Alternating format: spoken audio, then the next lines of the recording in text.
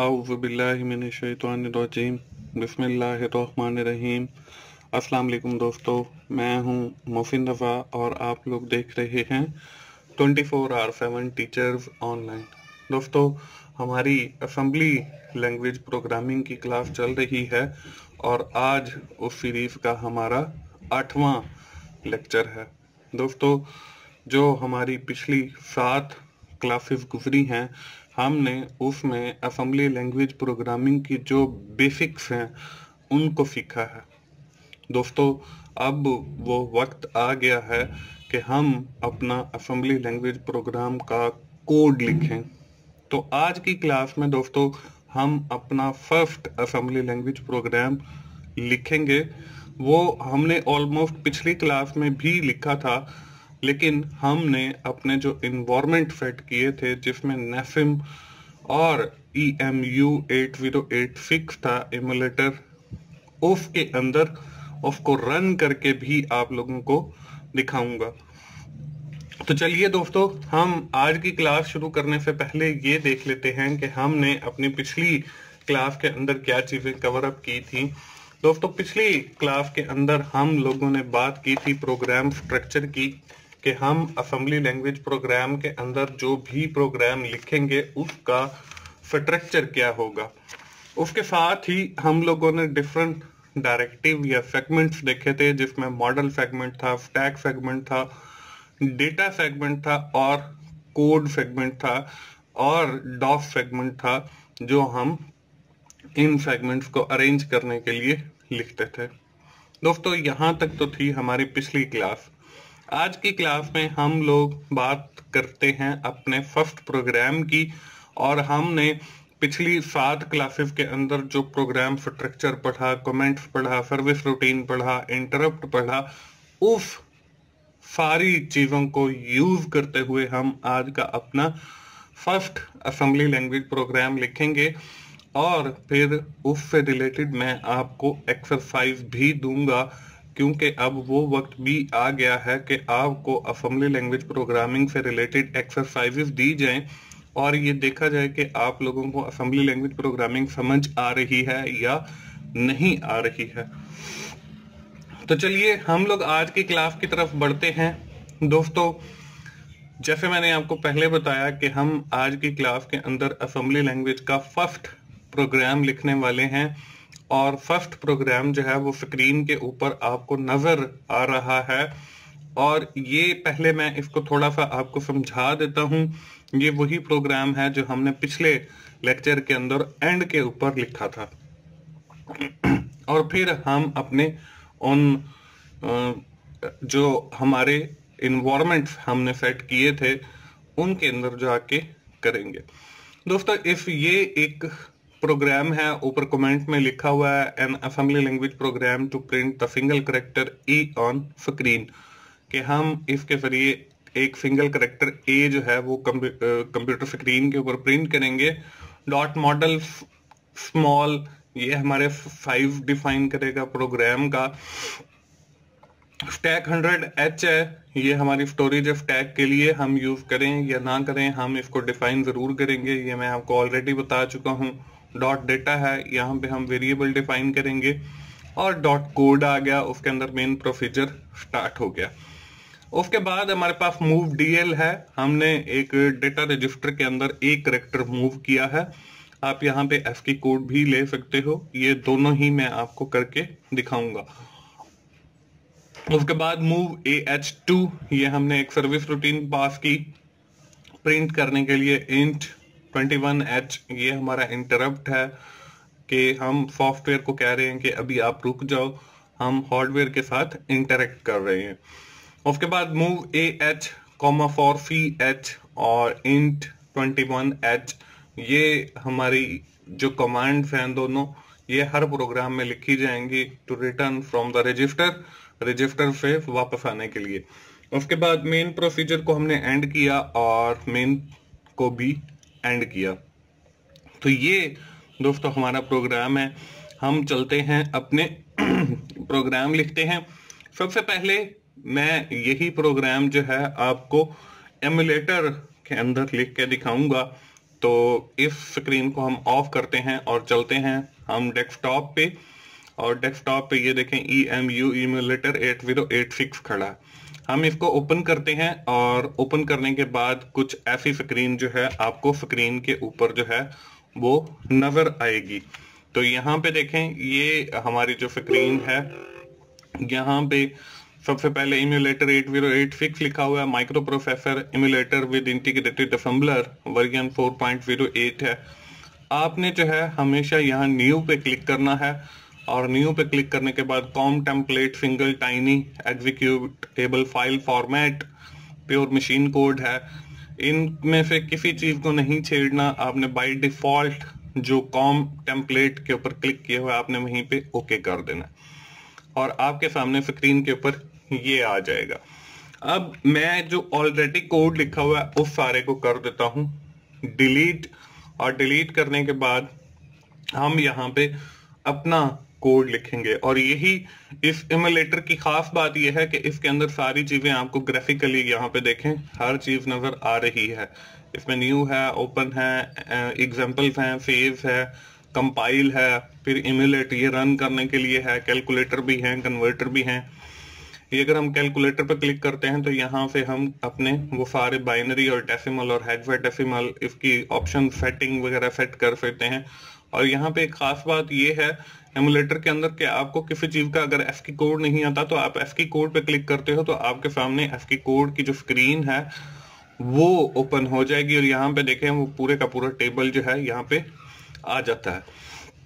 हम जो है विदाउट वेस्टिंग टाइम अपने प्रोग्राम की तरफ़ आते हैं और लिखते हैं अपना प्रोग्राम जो हमने पढ़ा है। हम सबसे पहले कमेंटिंग का यूज़ करेंगे। हम लिखेंगे an assembly assembly language program to print a on screen हम एक सिंगल करेक्टर प्रिंट कर रहे हैं ए स्क्रीन के ऊपर, उसके बाद जो है, आपको पता है, हम लिखते हैं डॉट मॉडल, और फिर हम इसे प्रोग्राम का साइज़ स्मॉल हमने डिफाइन कर दिया। उसके बाद हम डॉट स्टैक लिखते हैं, और हंड्रेड एच, ये हमारा स्टैक साइज़ हो गया। उसके बाद हम डॉट डेटा उसके बाद डॉट कोड लिखते हैं। और डॉट कोड के अंदर हम अपना मेन जो प्रोसीजर है, उसको स्टार्ट करते हैं। उसके बाद हम अपनी कमांड्स लिखते हैं और एंड पे जो है, हम अपना जो मेन प्रोसीजर है, उसको एंड कर लेते हैं। मेन एंड और ये हमारा प्रोसीजर एंड हो गया। और यहाँ पे देखें, हम एंड मेन भी कर लेते हैं। अब इसके अंदर दोस्तों हमने अपना जो है वो प्रोग्राम लिखना है। अब यहाँ पे देखें, हमारी फ़र्स्ट कमांड क्या है जी? मूव डी एल कॉमा और यहाँ पे इन्वर्टेड कॉमा के अंदर मैं भेजना हूँ जी ए और इसको हम जो है, अपने जो एफ़ की कोड है वो भी पास कर सकते हैं कि हम असेंबली लैंग्वेज के अंदर एक्स की कोड जो है ए का वो पैंसठ है। ये भी हम अपनी पिछली क्लासेस के अंदर पढ़ चुके हैं और मैंने आपको बताया था कि आप एफ़ की कोड जो है, तीन, चार, जो फ़र्स्ट वाले हैं, वो याद कर लें। अगर आपको याद नहीं है तो हम इमुलेटर का भी यूज़ कर सकते हैं। लेकिन अभी फॉर द टाइम बिंग मैं इसको इन्वर्टेड कॉमाफ के अंदर ए ही पास कर रहा हूँ। उसके बाद हम एक सर्विस रूटीन लिखेंगे move A H comma two ये आपको पता है कि हमने जब कोई स्क्रीन के ऊपर आउटपुट लेनी हो तो उसके लिए ये सर्विस रूटीन यूज़ करते हैं। उसके बाद हम वही इंट और 21h लिखेंगे। ये भी आप लोगों को पता है इंटरप्ट है सॉफ्टवेयर के लिए। और उसके बाद मैंने आपको बताया था कि हमने ये प्रिंट तो कर लिया। अब हम रजिस्टर जो हमने डीएल और एक्यूमुलेटर ए एच यूज़ किया है इससे हमने वापस भी आना है। तो उसके लिए हम मूव और A H comma four C H और उसके बाद फिर int twenty one space twenty one H और हमने जो प्रोग्राम डिज़ाइन रेसिपी पढ़ी थी और जो हमने गुड प्रैक्टिस बनाई थी, उनके मुताबिक हमने अपना प्रोग्राम लिखना है। वो सारी की सारी आप लोगों को अकबर याद होनी चाहिए। उसके बाद हम लोग जो है, ये प्रोग्राम हमने लिख लिया है। अब हम इस प्रोग्राम को कंपाइल करेंगे और कंपाइल करने के बाद रन भी करेंगे। तो कंपाइल जब हम कंपाइल पे क्लिक करते हैं तो आपके सामने dot stack hundred H not supported ये एक एरर भी आ गया है। अब वो इसको सपोर्ट नहीं कर रहा इमुलेटर तो इसको मैं क्लोज करता हूँ, अब इस ये जो हम इमुलेटर यूज़ कर रहे हैं, इसका फ़ायदा ये है कि ये आपको स्क्रीन के ऊपर जो एरर आएगा, वो भी दिखा देगा। और नेफिम और इसमें फ़र्क ये है कि ये आपको सारी चीज़ें ग्राफिकली दिखा रहा है। जबकि नेफिम जो है, वो आपको कंसोल बेस के ऊपर दिखाएगा। मतलब एक ब्लैक स्क्रीन होगी और वहाँ पे हमें समझ कुछ नहीं आना। तो हम जो है, अपना ये जो असेंबली लैंग्वेज का कोर्स करेंगे, उसके अंदर बहुत सारे लेक्चर जो हैं, वो नेफिम के ऊपर होंगे और मोस्टली जो लेक्चर होंगे, वो हमारे इसी एमुलेटर 8086 के ऊपर होंगे। मैं इसको क्लोज करता हूँ। क्लोज करने के बाद इसको रन के ऊपर क्लिक किया। तो ये तब भी वही एरर दे रहा है। तो हम ये जो डॉट स्टैक डॉट एच है, इसके साथ सेमी कॉलन लगा देते हैं ताकि वो इसको जो है एज अ कमेंट कंसिडर करे। और इस एमुलेटर के बटन पर दोबारा क्लिक करते हैं रन पे तो हमारा ये प्रोग्राम जो है वो रन हो गया। अब देखें, हमने जो लाइनें जो कमेंट हैं, उसने उसको खाली छोड़ दिया तो उसने ये एक कोड वाली विंडो है जो यहाँ पे नज़र आ रही है। उसने उसको जो है वो वहाँ से उठाया लाइन नंबर देखें थ्री से। अब यहाँ पे ये जो येलो कलर की आपको पट्टी नज़र आ रही है, वो यहाँ से एग्जीक्यूशन शुरू करेगा। और हमें बार बार एक एक कमांड को जो है वो एग्जीक्यूट करके दिखाता चला जाएगा। यहाँ पे मैं इसको भी मिनिमाइज कर देता हूँ। मेन विंडो को वापस ले आते हैं। और यहाँ पे देखें, मैं इसको थोड़ा सा साइड पे कर देता हूँ। ये ऊपर अलग अलग विंडोज़ आ रही हैं। तो हम इसको जो है बारी बारी स्टेप बाय स्टेप रन करेंगे और फिर स्क्रीन के ऊपर देखेंगे कि हमारा ए, हम यहाँ पे रन के बटन पे डायरेक्टली भी क्लिक कर सकते हैं, तब भी हमारा ए करेक्टर जो है वो प्रिंट होके आ जाएगा। हम यहाँ पे सिंगल स्टेप रन किया। ये देखें, हमारी ये सर्विस रूटीन चली गई। उसके बाद हमने ये फिर एक सिंगल स्टेप किया, फिर एक सिंगल स्टेप किया। तो इस तरीके से जब हमारे सारे सिंगल स्टेप पूरे हो जाएँगे तो हमारे सामने एक ब्लैक स्क्रीन आएगी और ब्लैक स्क्रीन के ऊपर जो है वो ए लिखा हुआ होगा, जो हम प्रिंट करना चाह रहे थे। तो ये है दोस्तों हमारा एमुलेटर का तरीका और इस तरीके से हम अपना प्रोग्राम लिखेंगे और रन करके देख सकते हैं। उसके बाद आपने प्रोग्राम को सेव करना है। हमने दोबारा सेव एप पे क्लिक किया और डेस्कटॉप पे मैं इसे सेव कर लेता हूँ। हमारा जो प्रोग्राम है क्लास चल रही है हमारी C L ad class number zero eight इसको हम सेव कर लिए। इसको मैं बंद कर देता हूँ तो हम अपनी वापस इस प्रोग्राम के ऊपर आ गए। अब हमने ये तो देखा एमुलेटर के अंदर। अब इसी प्रोग्राम को हम लिखते हैं नेफिम के अंदर। अब यहाँ पे नेफिम के अंदर लिखने के लिए आपको नोट पैड की ज़रूरत पड़ेगी। तो नोट पैड जो है, वो मैंने ओपन कर लिया है। अब इसके अंदर जो है, हम अपना प्रोग्राम लिखेंगे। तो हम सबसे पहले वही comment an assembly language program to print single character A. कि हम असेंबली लैंग्वेज का एक प्रोग्राम लिख रहे हैं और एक सिंगल करेक्टर प्रिंट कर रहे हैं। अब दोस्तों मैंने जो आपको प्रोग्राम स्ट्रक्चर बताया है, वो एमुलेटर 808 फिक्स के हवाले से बताया। तो हम मोस्टली चूँकि इमोलेटर 808 फिक्स का इस्तेमाल करेंगे अपने प्रोग्राम्स लिखने के लिए, इसलिए मैंने आपको शुरू में उसका स्ट्रक्चर समझाया। नेफिम बहुत कम यूज़ करेंगे तो यहाँ पे जो है नेफिम और इमुलेटर 8086 का जो हमारा कंप्यूटर आर्किटेक्चर है, उनमें फ़र्क सिर्फ़ यही है कि आप जो प्रोग्राम स्ट्रक्चर इमुलेटर के अंदर यूज़ करेंगे, वो हम अपना नेफिम के अंदर नहीं करेंगे। नेफिम के अंदर हम अपना डायरेक्ट प्रोग्राम जो है, वो लिखा करेंगे। तो मतलब हमने जो ऊपर dot model dot stack dot data dot code ये सारी चीज़ें पढ़ी थी, इन सारी चीज़ों को जो है हम इसके अंदर स्किप कर देंगे। तो हम अपना डायरेक्ट कोड लिखेंगे, उसके अंदर मूव डी एल कॉमा और यहाँ पे मैं 65 लिख देता हूँ, क्योंकि पहले मैंने आपको सिंगल करेक्टर ए पास करके दिखाया। और ये हम अब एज अ एफ़ की कोड लिख रहे हैं। तो हम बाकी सारी चीज़ों को इग्नोर करके हम डायरेक्ट कोड लिखेंगे। और यहाँ पे move A H comma two लिखा, ये हमारी सर्विस रूटीन हो गई।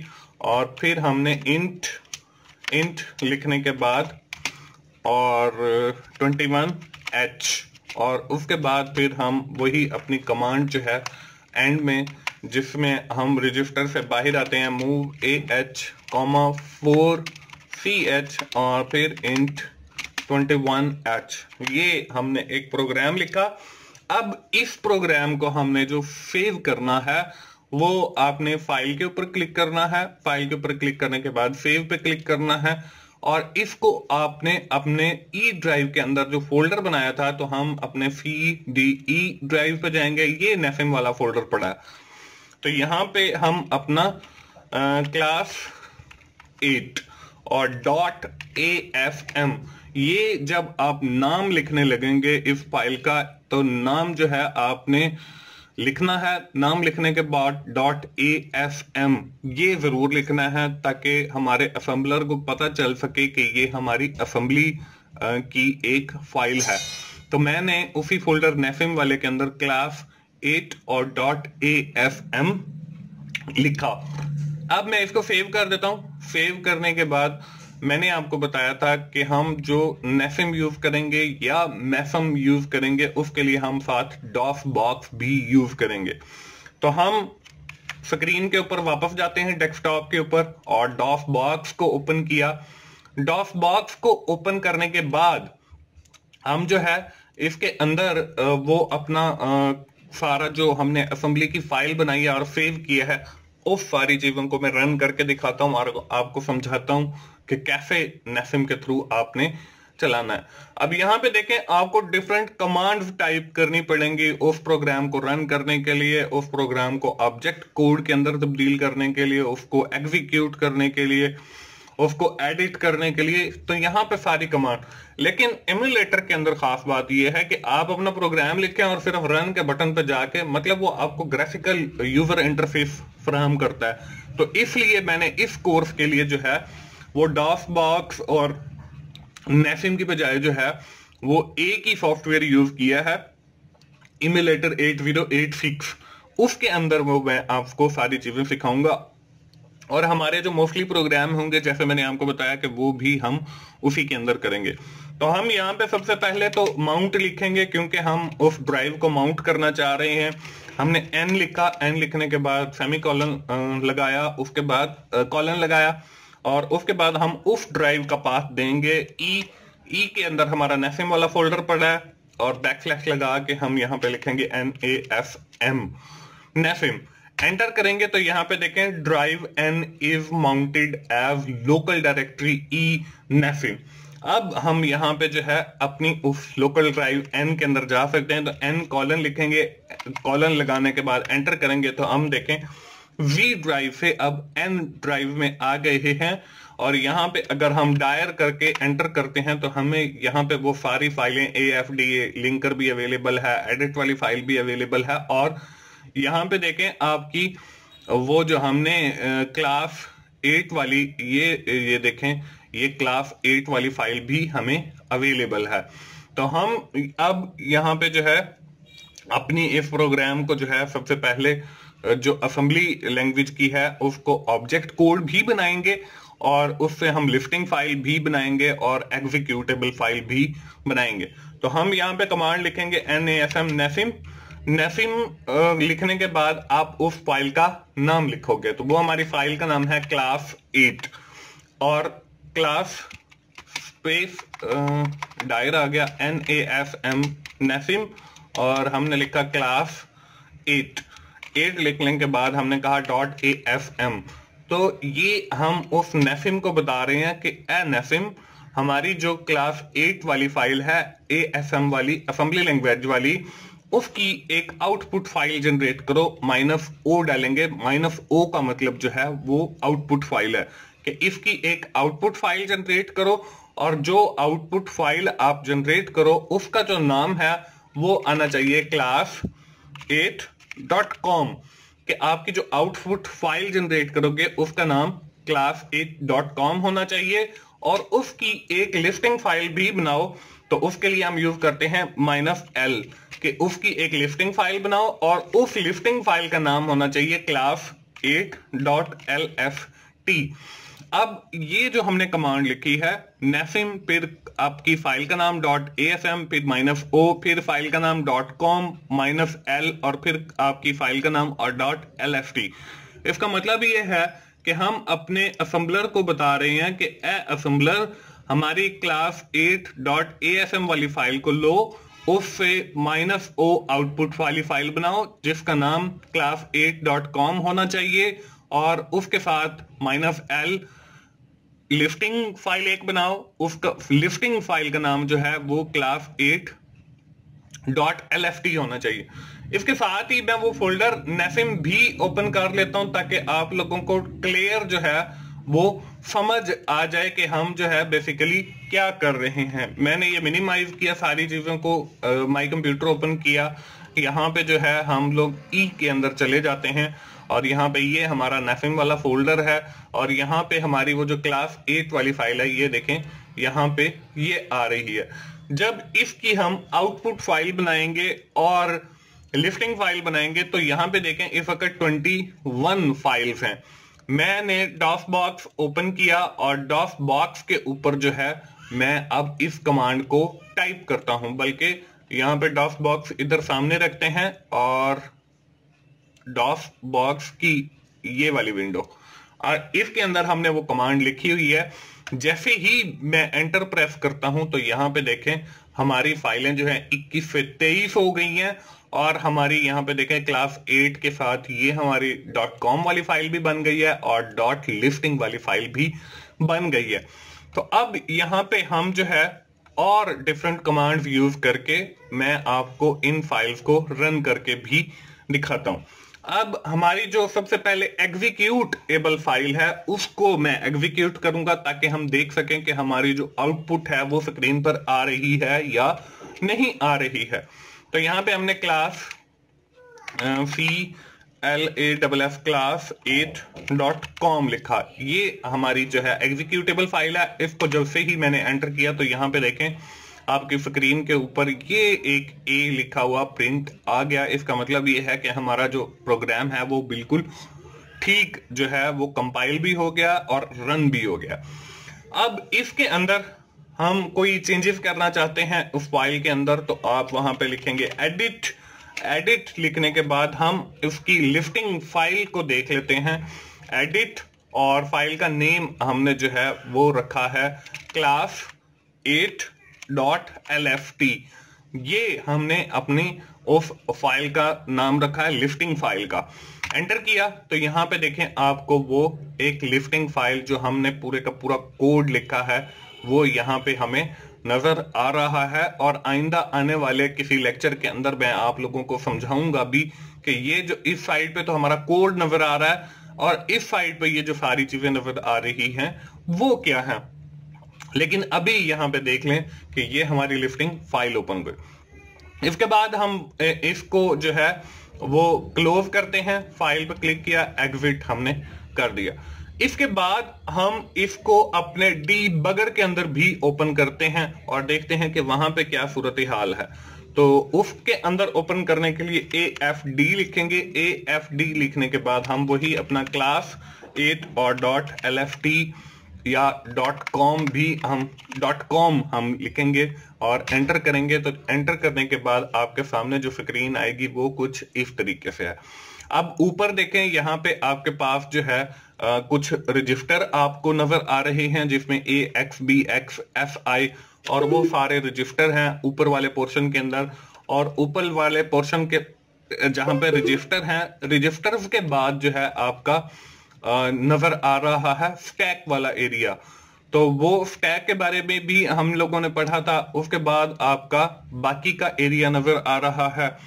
फ्लैग्स हैं, उसके साथ आपको उसके फ्लैग्स के नीचे जो है, वो डेटा विंडो नज़र आ रही है, जिसके अंदर ये काफ़ी सारा ग्रीन आपको कलर नज़र आ रहा है, और उसके नीचे भी आपको ये जो विंडो नज़र आ रही है, वो ग्रीन वाली, ये भी आपका डेटा एरिया है, और उसके साथ उसके ऊपर जो है, वो आपको जो लिखा हुआ नज़र आ रहा है, वो आपका प्रोग्राम है। और उस प्रोग्राम के अंदर जो है, हमारी सारी चीज़ें हैं। ये वाला एरिया देखें, हमारे रजिस्टर का, ये स्टैक का, ये फ्लैग का, ये डेटा विंडो ये भी डेटा विंडो और ये हमारा प्रोग्राम है। और ये जो है, आपकी कमांड लाइन है। यहाँ पे हम डिफरेंट कमांड लिखेंगे। तो आइंदा आने वाली क्लास के अंदर हम इसके अंदर मजीद कमांड्स भी लिखना आपको सिखाऊँगा। और आपको इसको रन करके भी दिखाऊँगा। अभी फॉर द टाइम बिंग आप सिर्फ़ इस डीबगर को देख लें। तो एमुलेटर यूज़ करने का फ़ायदा ये है कि हमें इस तरह का कोई डीबगर भी ओपन नहीं करना पड़ता, बल्कि वो साथ ही डीबगिंग भी करता है और अगर कोई एरर है तो वो हमें स्क्रीन के ऊपर ग्राफिकली दिखा देता है। इस डॉस बॉक्स को मैं क्लोज कर दिया है और इसको भी क्लोज कर दिया है। हम अपनी क्लास की तरफ़ वापस आ गए हैं, क्योंकि हमारे प्रोग्राम दोनों रन हो गए हैं नेफिम के अंदर भी और हमारे एमुलेटर 8086 के ऊपर भी। सेम यही तरीका जो हमारा नेफिम के ऊपर है, वो हमारा मैफिम का भी है। तो आप उस पर खुद देखें मैफिम के ऊपर रन करके। दोस्तों, ये थी हमारी आज की क्लास। आज की क्लास खत्म करने से पहले आपको जैसे मैंने बताया था शुरू में, अब वो वक्त आ गया है कि मैं आप लोगों को एक्सरसाइज भी देना शुरू करूँ। तो आपने क्या करना है? आपने एक प्रोग्राम लिखना है। Write an assembly language program to print the first character of your name आपने अपने नाम का जो पहला करेक्टर है, उसको प्रिंट करना है। Let's suppose my name is Mofin जैसे मेरा नाम मोफिन है तो I have print M on computer screen तो मैं एम प्रिंट करूँगा. If your name is Raza अगर आपका नेम रजा है तो then you print R on computer screen आपका जो भी नाम है अहमद है तो ए टाइप करेंगे. ज़फ़र है तो वेड टाइप करेंगे. कंप्यूटर uh, स्क्रीन के ऊपर आपका आना चाहिए आपका प्रोग्राम ऐसा होना चाहिए. इंस्ट्रक्शन है यूज़ रजिस्टर वेयर नीडेड जहाँ पे आपको रजिस्टर की ज़रूरत पड़े, वहाँ पे आप रजिस्टर यूज़ करें। Use service routine to print the screen आपने सर्विस रूटीन्स का इस्तेमाल करना है, जहाँ पे ज़रूरत हो। यूज़ इंटरप्ट वेयर नीडेड जहाँ पे इंटरप्ट की ज़रूरत है, वहाँ पे आप इंटरप्ट यूज़ करेंगे। और use comment in program where needed और जहाँ पे आपको कमेंट्स की ज़रूरत है, वो यूज़ करेंगे। और इस तरीके से आप अपनी एक्सरसाइज कंप्लीट करेंगे। तो दोस्तों हाँ ये थी हमारी आज की क्लास। आज की क्लास में हमने अपना फ़र्स्ट असेंबली का प्रोग्राम लिखा और इनशाला आज ही से ऑनवर्ड हमारी जितनी भी क्लासेस होंगी, उनके अंदर हम असेंबली लैंग्वेज का कोड लिखा करेंगे और जहाँ पे कुछ थ्योरेटिकल वर्क होगा या डेफिनेशन होंगी, वो भी साथ पढ़ा करेंगे। दोस्तों, मुझे उम्मीद है आपको असेंबली लैंग्वेज प्रोग्रामिंग की ये सीरीज़ पसंद आएगी और आप उससे यकीनन सीख भी रहे होंगे। दोस्तों, अगर आपको मेरी वीडियो अच्छी लग रही है तो आप उन्हें लाइक कीजिए, अपने दोस्तों के साथ शेयर कीजिए और कमेंट्स की सूरत में अपना फीडबैक दीजिए। और मेरा channel 24 four R seven teacher online subscribe कीजिए, ताकि मेरी हर आने वाली वीडियो, हर आने वाले लेक्चर आप लोगों तक पहुँच सके और आप उससे सीख सकें। दोस्तों, मिलते हैं अगली असेंबली लैंग्वेज प्रोग्रामिंग की क्लास में। उस वक्त तक के लिए मुझे इजाज़त दीजिए। थैंक यू वेरी मच दोस्तों। अल्लाह हाफिज़।